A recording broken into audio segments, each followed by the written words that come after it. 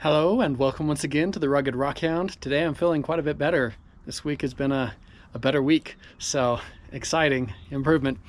Um, over the weekend I managed to get over and visit Eric and we cut some stuff open. I had some larger ones sitting around that were from all kinds of things and he helped me get them cut open and he even took and polished one. So I'm excited to show you what, what I came back with, what we got cut open. Some neat stuff. Let's go ahead and take a quick look. Okay, here we go. First one, we've got one of the Septarians from his claim that I collected last year that I haven't cut yet. Ooh, very nice. Yeah, these Septarians from his claim, they're pretty good. I mean, they're not as good as some of the stuff you get from Southern Utah, Orderville, but still, they're, they're nice things. Next up, we've got one of those jasper nodules that come from the, the San Rafael swell. This is one of the larger ones I still hadn't cut open. Ooh, now look at all those bladed crystals in there. Those are gonna be celestite. Look at that. That's really cool. All going through that. Very nice.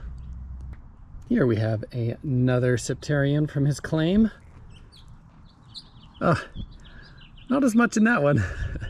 Just a few little cracks. Yeah, not a whole lot there. They can't all be winners. Here's a Dugway geode I had sitting around I still hadn't cut open. And yeah, does not disappoint. Look at that. Good old classic Dugway geode. Beautiful. Just wanted to quickly show you this. Eric gave this to me. It's a rock that's got a bunch of malachite growing through it, probably from an old mine somewhere in southern Utah. But yeah, those are nice little zone, you know, little spots where the malachite just grew into whatever space it could find. Pretty cool stuff. Here we have another jasper nodule from the San Rafael swell. And, ah, nice. It filled in with blue celestite. You can see that blue, and I can feel the weight. Very nice. Oh, we've got a lot of winners in this one. So this has been sitting around in my stuff for a long time. This is some Clay Canyon material. I used to be able to go dig here years ago and and after somebody messed it up for everybody, claim owner wouldn't let a, uh, people go out there anymore. But it's where you get like the green variscite and other cool things. But most of the time you get this yellow crandallite. And this one I had never cut open and Ah, no green or blue. Just crandallite. But even the crandallite can be really pretty. So you can see crandallite going all through it. And then right here you got a little vein where there was calcite. Nice.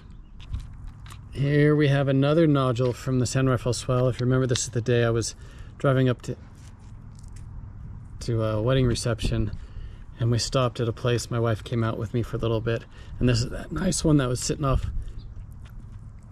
on the riverbank. And, oh yeah, look at that. Look at the red in that. Well, that one's beautiful. Oh, that's a really good one. I guess you could, it's like a red moss going through it. Very cool. So here's some jasper that I got a long time ago. I'm trying to remember where I got this from. Or maybe this was on the, this is what, maybe this is the, now that I think about it, maybe this is the uh, Jasper stuff that we find out in Utah by the, uh, the Chimney Rock area. Might also have been from southern Utah a long time ago when I was down there. I don't remember for sure. Anyway, let's take a look. Oh, look at that. Oh, that's beautiful. I wish I could remember exactly where I got this one from. It's been a little too long. Oh, that's a nice one though.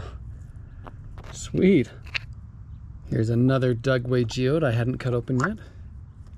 Yes.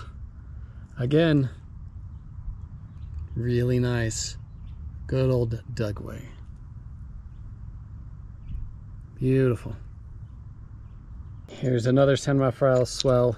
It, it was it was already broken like this and he helped cut the end off of it. The part down here broke, but this part up here stayed intact. That's nice too. Take a look at this side more. So that's the full length. So down here you got the red jasper mixed in with some of the calcite and probably celestite. But up here it's really nice. Cool. Here's another Dugway geode. It's a double. Yeah, look at that. Look at that. Okay, here's the one side. Nice. Here's the other side. Very nice. That's another really good Dugway geode. So here is some of that red agate that I found about two years ago with my dad when I was out on the northern northern part, a little further north on the San Rafael Swell. And so uh, Eric helped cut it. He, I gave him the piece on this side because I thought he'd appreciate that. He, he hasn't been out here. He didn't have any of the stuff. And here's what it looks like inside. Really nice stuff. And I wonder if we could cover this so you can see the light coming through it.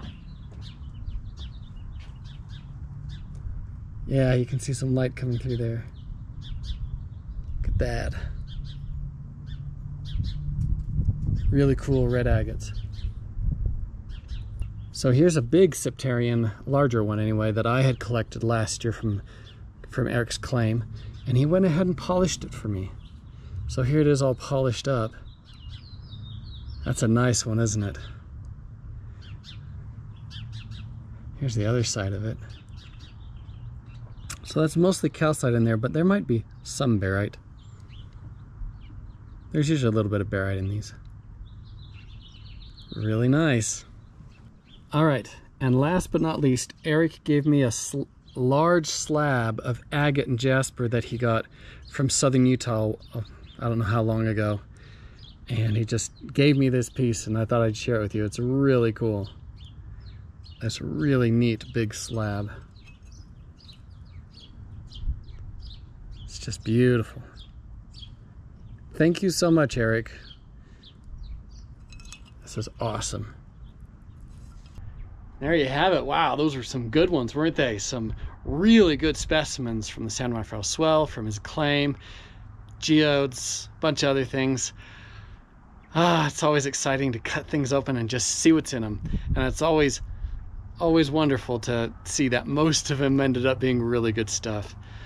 Oh, and it's just wonderful to be feeling better. So, unfortunately, still going to be a while before I can go out and rock hound. I, I'm not well enough for that yet, but it will come. Hopefully, in a less than a month.